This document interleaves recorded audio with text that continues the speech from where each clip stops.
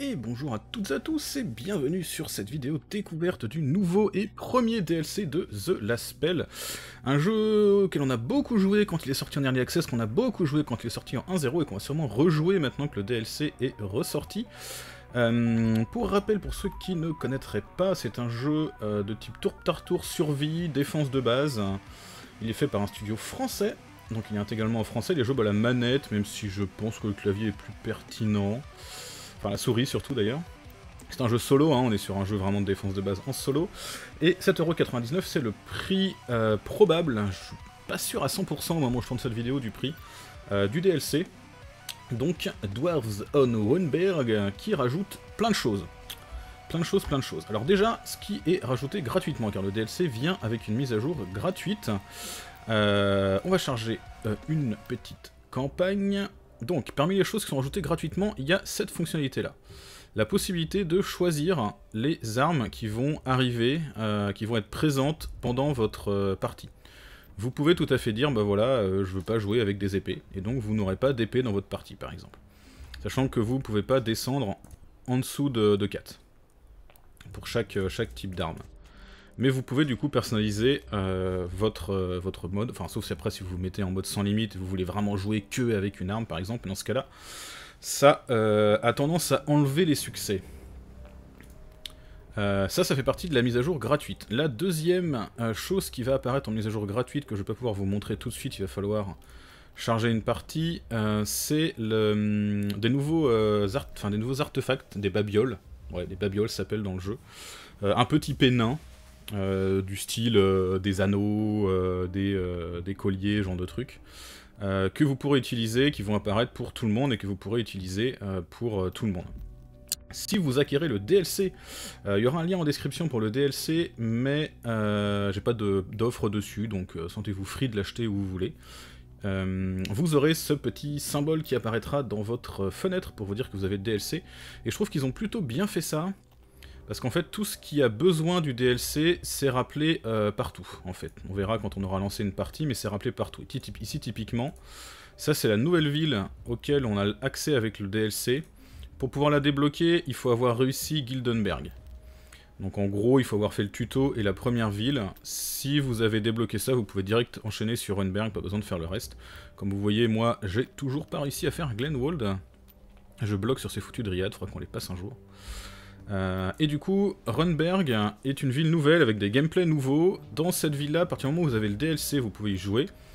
Si vous avez euh, le DLC, vous avez une probabilité d'avoir des nains qui vont apparaître dans votre pool de héros, car oui, on a maintenant la possibilité de jouer des nains en plus des humains. Et les nains ont des caractéristiques différentes des humains, vous allez voir ça. Donc ça laisse euh, entendre qu'il y aurait moyen de rajouter pas mal d'autres races diverses et variées. Pour l'instant, il, reste sur une valeur sûre avec les nains, je pense, pour voir un peu comment ça se, comment ça se gère. Mais ils ont bien bossé, peaufiné le, gameplay, les, ajouts, etc.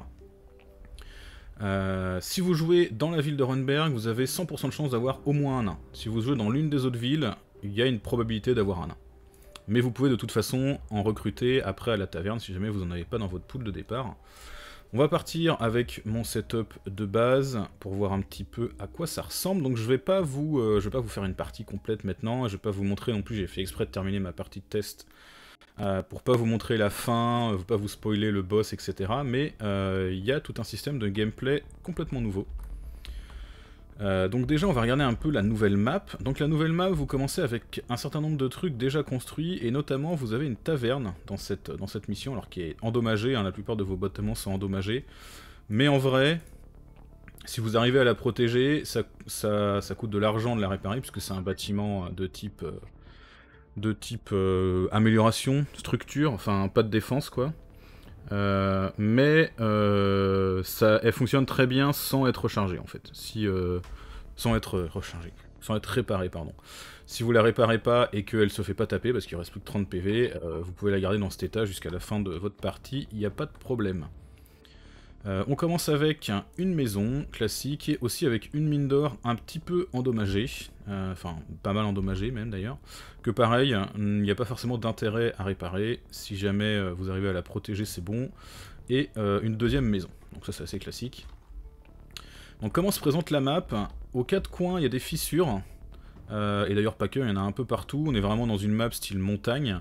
Et en fait, dans ces fissures, à partir du jour 2, il va y avoir des... Alors pas dans la zone du... Là c'est la zone encore du bastion.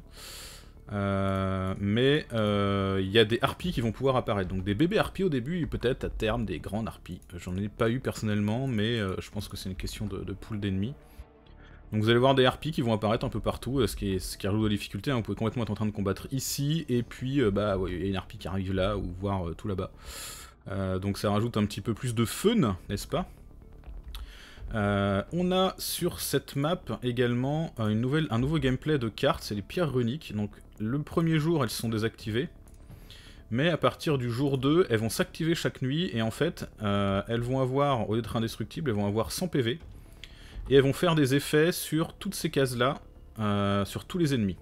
Donc on a des, pierres de type feu qui vont faire une grosse explosion, des pierres de type poison qui vont mettre une dose de poison qui est quasi capable de one-shot euh, un, kamikaze ou ce genre d'ennemi, euh, et de gel qui vont être capables de faire une grosse explosion de gel qui va avoir des chances de stunner les ennemis, en, tout cas ceux qui ont survécu parce que ça fait quand même des dégâts assez lourds, de type magique en plus donc ça défonce la résistance. Euh, et donc en gros, chaque nuit elles vont se recharger, si vous les avez utilisées elles vont changer de type. Par exemple si elles étaient poison, vous les détruisez, elles font leur poison, la nuit d'après elles se rechargent, elles peuvent être feu ou gel. Euh, et en gros du coup elles vont vous permettre de gérer les ennemis. Si vous arrivez à stacker des ennemis autour, et que vous l'activez, bah ça fait très très mal et en une seule attaque, parce que sans PV la plupart des attaques avec des armes un petit peu avancées one shot les pierres. Euh, bah vous, pouvez buter euh, quasiment une vingtaine d'ennemis euh, sans, trop tousser quoi. Donc leur placement est fixe, vous pouvez pas les bouger. Mais si jamais vous arrivez à mettre des barricades ou les, canaliser, canaliser les ennemis verts, ça peut bien aider quoi. Clairement, ça peut bien aider. Et les endroits, vous, verrez vite que les endroits où il n'y en a pas, genre là il y a un gros couloir où il n'y en a pas, et eh ben on est un petit peu déçu quoi. On est en mode, eh, un peu pas vers la droite là, que je vous, je vous marave la tronche. Euh, donc ça c'est le gameplay euh, spécifique à cette map, en plus du boss, mais le boss j'en parlerai pas. La map est franchement très sympa, hein. il, y a, des petites statues, il y a des petits wagonnets, des trucs qui vont vous, vous bloquer les lignes de vue, euh, à droite à gauche. Et des trucs assez, un truc assez sympa aussi sur ce, côté-là. là il y a une avancée du bastion, mais ici c'est pas le bastion, donc les ennemis vont pouvoir aller jusqu'ici, éventuellement être pris en tir croisé d'arbalète, etc. Euh, sans déclencher de panique, tant que vous avez protégé cette zone, ça marche, et donc du coup, comme ils arrivent, là, ils, ils peuvent pas arriver là parce qu'il y a une fissure, ils arrivent ici ou ici, euh, au final, on est relativement safe, euh, tant qu'on arrive à défendre la petite avancée où il y a la taverne ici. Vous pouvez totalement détruire la taverne pour la foutre ailleurs si elle vous emmerde ici, mais globalement, je la trouve assez gérable. donc voilà un petit peu pour la présentation de la carte en elle-même. Maintenant, qu'est-ce qu'on a comme nouveauté? Alors, comme haute nouveauté, on a des nains. Des nains, bien sûr. Euh, je vais aller... Non, je peux pas aller à la taverne. On va regarder du coup nos héros. Donc normalement, on a forcément un nain dans notre tas. Ça doit probablement être lui. Voilà, c'est lui, c'est un nain. Euh, donc les nains vont avoir plus 8 de garde, plus 10 de régène quotidienne. Par contre, ils sont petits, donc ils ont moins de mouvement. Et ils ont compagnon jetable. Alors ça veut pas dire qu'on peut les jeter.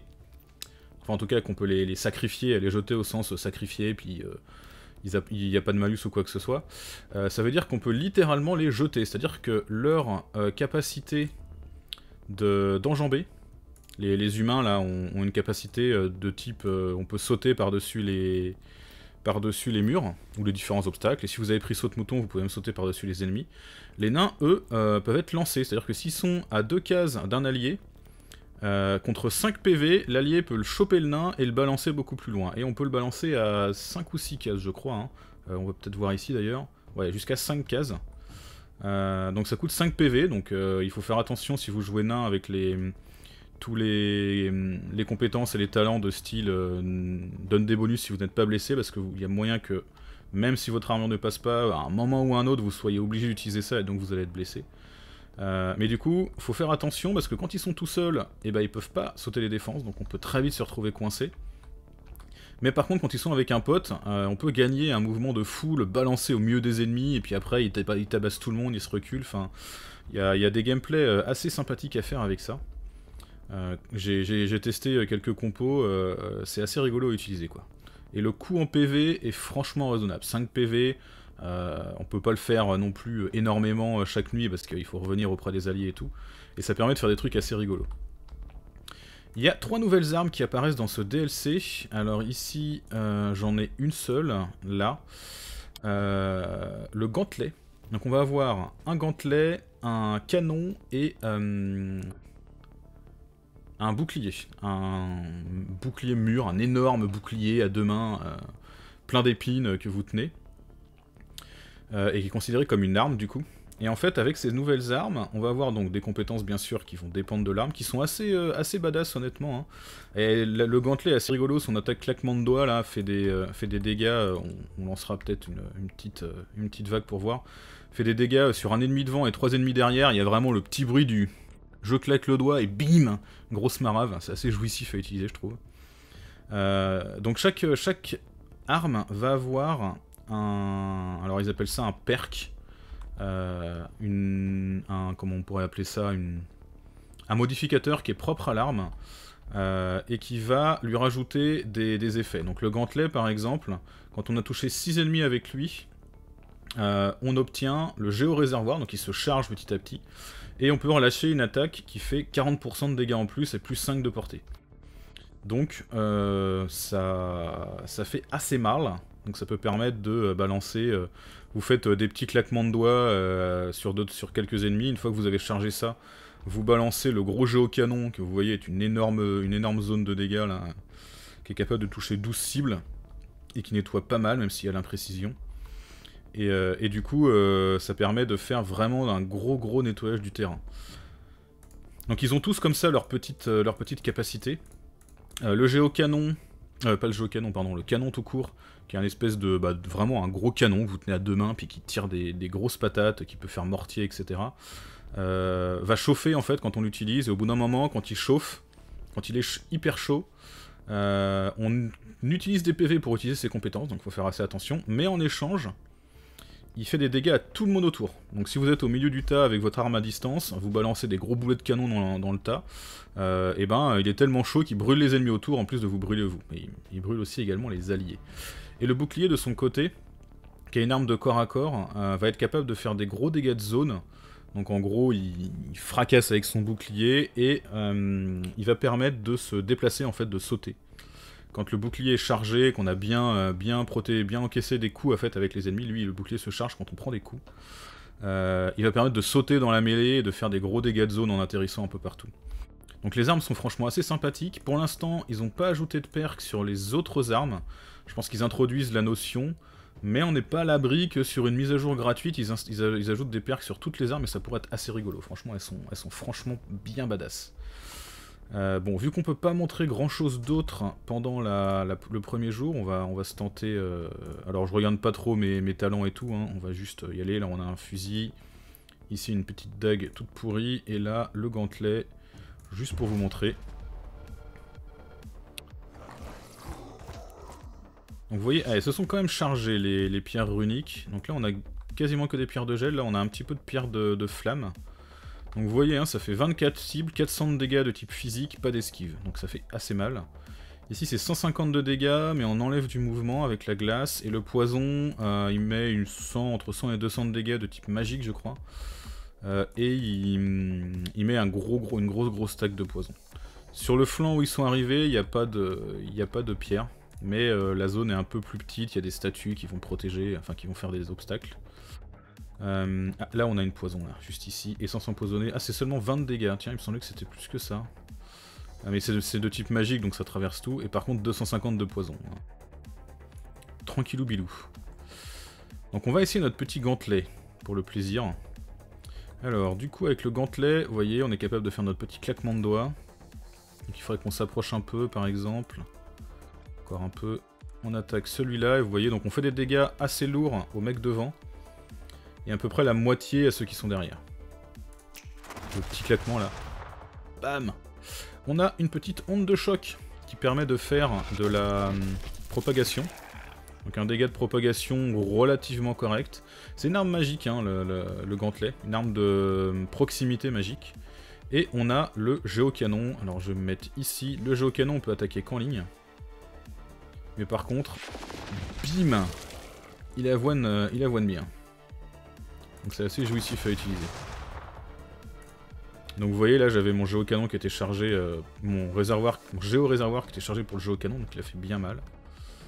Et lui il a quoi? Un parchemin d'épée fulminante également. Donc là on peut, alors le, on n'est pas, on peut pas forcément faire toujours des gros dégâts avec le, gantelet parce qu'on peut attaquer qu'en ligne. Par contre on peut attaquer sur les côtés euh, assez aisément quoi. Et ça c'est plutôt cool. Ensuite, avec nos, autres copains, on va aller se mettre derrière la barricade avec toi. On va avoiner avec notre petit tir de fusil. Voilà. Et puis, vu qu'on a que ça comme arme, on va faire un gros tir à deux. Et du coup, ici, on est un peu loin. Et si on s'approche, on va être capable de faire un petit jet de dague. Hop là. Donc là, on est un peu exposé avec le nain, mais les nains ont euh, tout un gameplay, on regardera ça après, les talents, sur le... Hum, ah, il a un bouclier en plus, c'est quoi ça C'est inconsommable?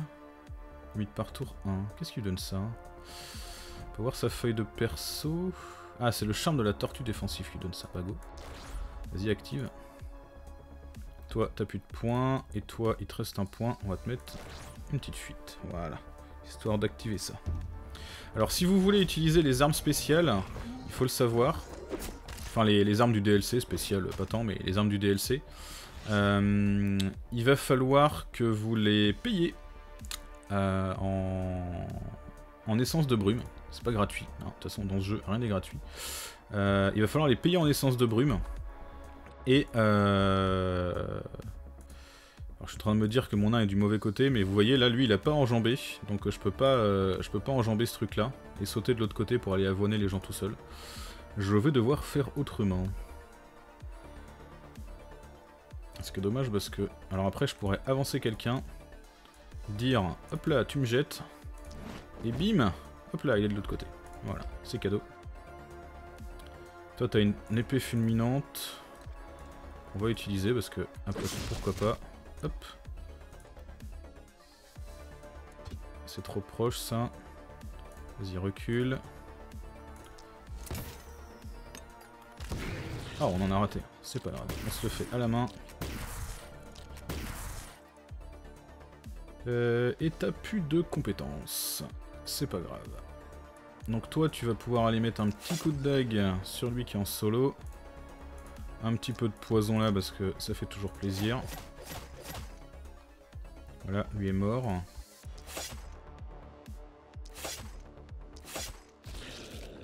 Excellent.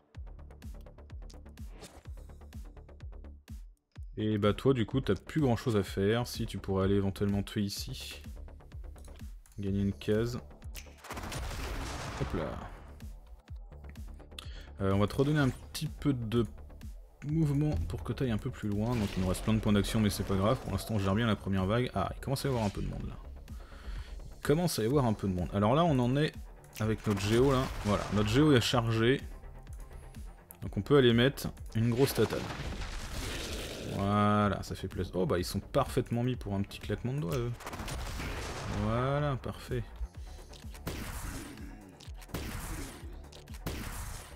Lui il a résisté. Est-ce qu'on peut shooter celui-là? Non, lui il est encore dans le brouillard, on le voit pas. Lui il est isolé. Excellent. Lui on le voit. On le voit, mais il est pas isolé. On va se débarrasser de celui-là. Comme ça après, ils sont isolés. Et là, c'est fini, on n'a plus de points. Donc reculer un peu. On est plutôt tranquille pour le moment. Oh, on va prendre une petite attaque ici, mais rien de grave. Alors là du coup faudrait qu'on tue celui-là dans l'idéal. Pour pouvoir passer. Mettre un petit coup de dague à lui qui a de la résistance donc il fait un petit peu mal. Toi t'as combien? 120 Ah non c'est pas. c'est le dernier que j'ai sélectionné mais c'est lui qui a l'air d'avoir le plus de vie. Un petit jet de dague et on se replie à l'abri. Ici, c'est du dégât magique donc eux ils aiment pas ça. Hein.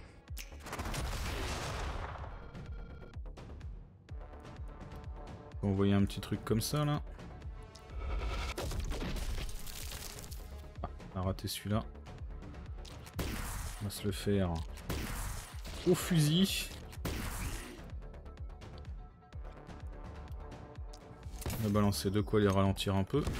Voilà, parfait. Et là-bas, on n'a pas de ligne de vue. Qui c'est qui a des PV C'est toi. Merde. Hop là, reste derrière. Je voulais sectionner lui plutôt.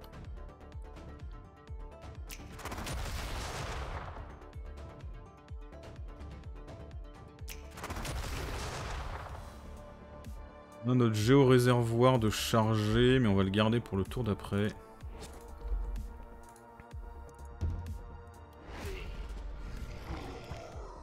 Hop là. Ok, parfait. On va pouvoir direct balancer une grosse fessée. Ah, c'est dommage, il y en a celui qui est là est mort. On va pas pouvoir... Euh, on va pas pouvoir, euh, comment, euh, envoyer un petit truc qui fait de la... qui se répand. Après, je pourrais avancer là et puis faire cela à coup d'épée, par exemple. Lui, on snipe. Lui, on snipe. Et ici, toi, tu commences à être un petit peu en sous-nombre. Alors après... T'as quand même un truc de hache, là. Ouf. C'était très mauvais, ça. T'as un petit peu de poison.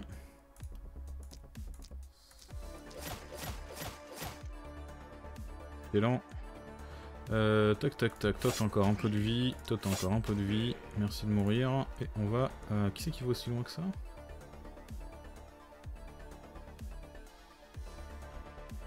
Il va aussi loin que ça? Il y en a un derrière qui sort et qui va aussi loin que ça Ah, il y en a un là, j'avais pas vu. Ah, le petit coco Ok, il va falloir qu'on bouge pour le voir. Voilà. Il se cachait le vilain chien. Alors j'ai pris le, talent euh, patience, enfin le présage patience qui fait que je peux conserver un point d'action pour le tour d'après. C'est ça que je l'ai... je j'optimise pas trop. Ok, on a un élite là. Alors un élite qui peut rejouer après, ça c'est hyper chiant. Peut se déplacer, attaquer à nouveau à la fin du tour des ennemis. Ça c'est la grosse saloperie. Mais du coup, il s'est placé pas officiellement en fait, en vrai. On mieux le faire là. On va envoyer un petit truc comme ça. Voilà, notre jeu au réservoir est chargé. Et je pense qu'on va quand même se le faire avec l'assassinat. C'est mou. C'est mou, il a un sacré jauge de PV le petit enfoiré. après il est isolé, je pourrais le taper avec le nain en vrai. Je pense qu'on va faire ça. Donc on a un petit peu euh, nettoyé. Hop là. Quoique 81, c'est pas non plus monstrueux. Hein. On va l'entamer un peu au poison. Voilà, allez. Merci, au revoir. Toi il te reste pas de points, toi il te reste pas de points, et donc toi du coup, euh, tu peux faire un jeu au canon en défonçant la barricade, euh, à la rigueur. Si tu mets là, Allez, mets-toi là.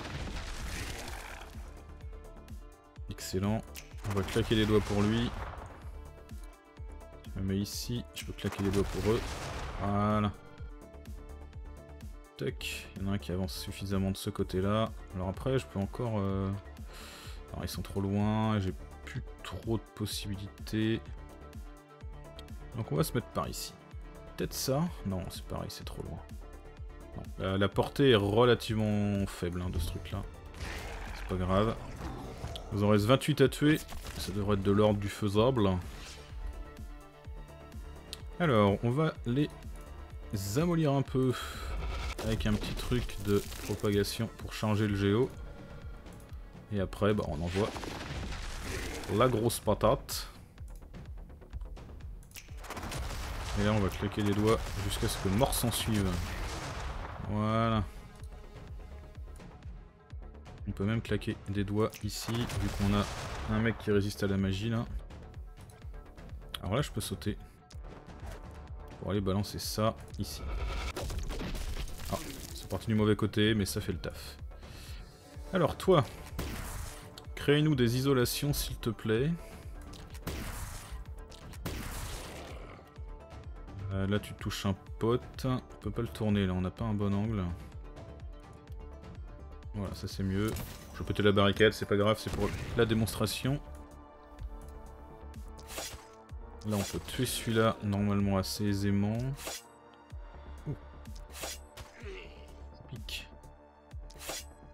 Et B Lui, il est un peu à chier en précision, notre nain, là. J'aurais bien voulu euh, terminer... Euh, terminer là, mais il me reste un point d'action, et là, rien. Bon bah, tant pis. Un tour de plus. Ah, il y en a un petit enfoiré qui est sorti de l'autre côté là. Euh, on va se le faire avec ça peut-être, ou alors je retraverse. Je vais attaquer d'ici. Peux en faire un petit là. Voilà. En plus on en a 4 en des claquements de doigts. C'est assez efficace. Là ils sont isolés. Si je rate pas, il y a moyen qu'on les tue. Voilà, parfait. Ok, première nuit, c'est passé. On va pouvoir regarder un petit peu ce qu'on a comme talent.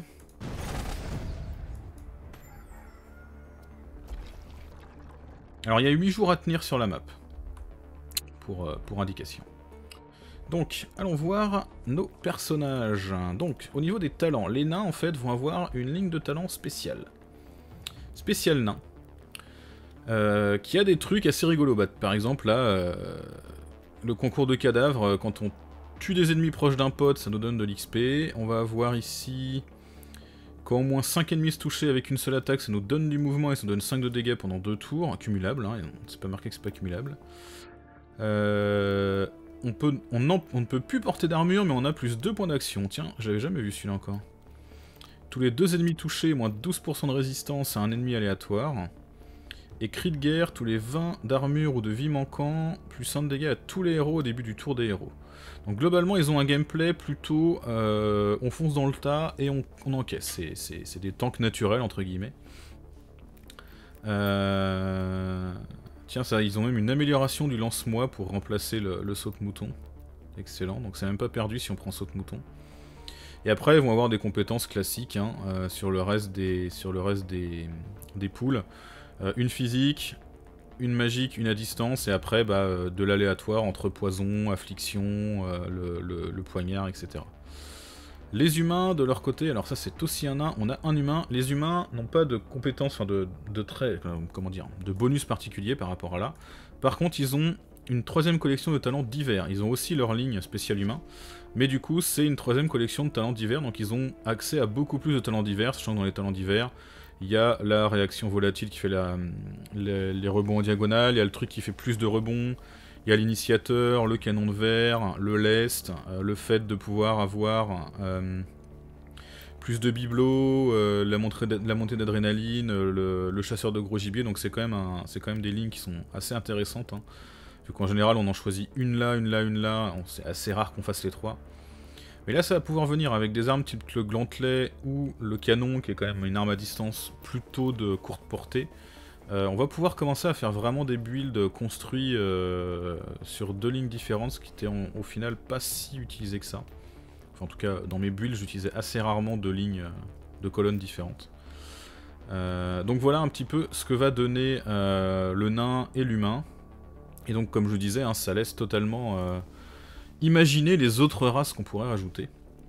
Et donc un truc, donc dernière chose à montrer qui est assez sympathique comme je le disais, c'est que tous les endroits où le DLC est euh, nécessaire, c'est indiqué.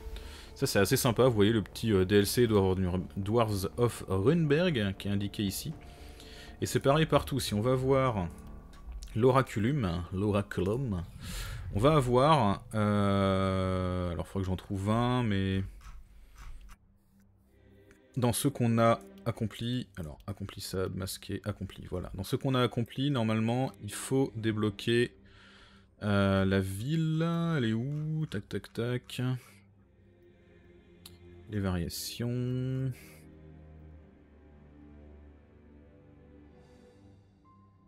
Je vais retrouver, hein. c'est une histoire de scroller.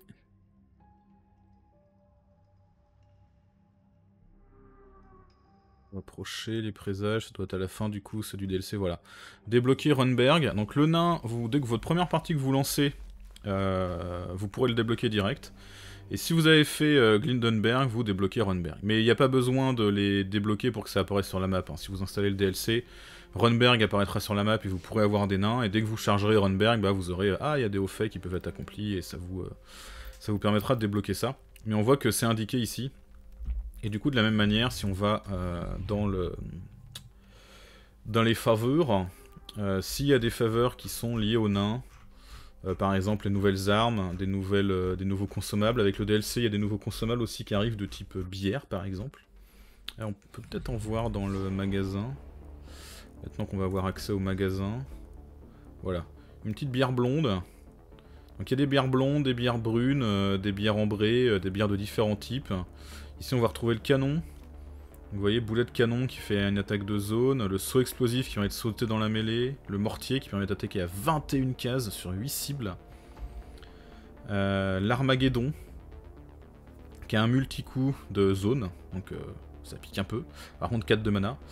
Et donc du coup, la, surchauffe, vous voyez dans le, dans le là, euh, à chaque fois qu'on utilise une compétence de canon, on gagne 1 de chaleur pour chaque coup de base en point d'action à mana, et quand on atteint 7, euh, on, doit utiliser 4 de vie, augmenter de 6 pour chaque coup de point d'action et de mana. Donc ça peut faire très très mal. Mais euh, on fait des dégâts automatiquement, donc de quand même 101, 160 tout autour, ce qui est quand même pas dégueulasse. Et à la fin du tour des héros, le canon refroidit un petit peu, mais pas tant. Hein. Moins 5, euh, ça peut aller vite. Hein. Vous voyez, là par exemple, ça coûte 2, donc déjà on prend 2 de chaleur. 1 de chaleur ici, 2 de chaleur, plus 2 de mana, donc 4 de chaleur. Ici on prend 4, 5, 6, 7 de chaleur pour un Armageddon, donc on est direct au maximum. Donc, euh, donc faut faire attention à ça. Et la dernière arme, j'en profite pour vous la montrer avant qu'on s'arrête. Le bouclier de guerre, donc qui va être euh, une arme de mêlée, plutôt, même s'il y a un petit peu de distance, voilà. Le mur mouvant qui permet de, euh, charger avec le mur en, en touchant 3 cibles, plus 3 cibles. Le mur de souffrance qui fait des dégâts autour de vous, devant et derrière. Donc vous chargez, euh, vous chargez, vous mettez au milieu de la mêlée, puis après vous, vous balancez euh, le mur de souffrance. Et donc la garde parfaite, euh, ça fait qu'à chaque fois qu'on est touché, la prochaine compétence du bouclier obtient 8% de dégâts, jusqu'à 80% de dégâts quand même. sachant que ça ne disparaît pas, hein, comme, il dit, comme il s'est marqué, ça diminue de 4% pour chaque point d'action dépensé. Et si jamais on n'est pas touché, on réduit le bonus de moitié. Donc en gros, vous allez au milieu de la mêlée, vous cognez fort, vous mettez votre gros euh, bonus de garde en faisant la levée de bouclier qui en plus des dégâts, parce qu'après tout, pourquoi pas faire des dégâts et en plus se mettre de la garde. Vous mettez vos petits bonus d'armure, vous tankez un tour et après vous défoncez un peu plus et vous tankez un tour et vous défoncez un peu plus. Donc ça rajoute des gameplays que je trouve franchement assez sympa et assez rigolo à utiliser. Euh, donc voilà un petit peu pour la présentation de ce DLC des nouveautés. Donc je vais pas vous montrer tous les talents ni euh, les boss comme je vous ai dit, hein, il y a quand même un petit peu de découverte à avoir. Bon là j'ai joué en gridant comme un porc au niveau mana et tout sur le premier tour, je voulais vous montrer les nouveaux objets et, l'oraculum, donc il fallait que je fasse la première journée. Euh, mais on va s'arrêter là pour cette découverte. J'espère que ça vous a plu, n'hésitez pas à laisser un petit commentaire dans la vidéo euh, si vous avez des questions sur le DLC, s'il y a des choses qui vous interrogent ou si vous comptez l'acheter, je mettrai le lien en description pour l'acheter. Donc je remercie encore beaucoup hein, Ishtar Game de nous avoir permis de, tester le jeu, donc déjà d'avoir fourni une clé et en plus de m'avoir permis de le tester en avant-première pour pouvoir vous faire une belle vidéo découverte en ayant bien bien tout regardé. Puis le moment où il sort, car il sort à 15h15 en plein mercredi. Je ne sais pas pourquoi. C'est un trip des développeurs, j'imagine. Euh, mais voilà, il sort à 15h15 le mercredi 24, ce que vous savez puisque vous regardez cette vidéo maintenant à 15h50 dans ces eaux-là. Euh, donc voilà un petit peu pour la découverte. J'espère que ça vous a plu euh, et bah, j'en ferai, je pense, un peu de Runberg en live un de ces week-ends. Donc n'hésitez pas à passer les liens de Twitch sont dans la description également. Merci à toutes et à tous et à très vite pour la suite.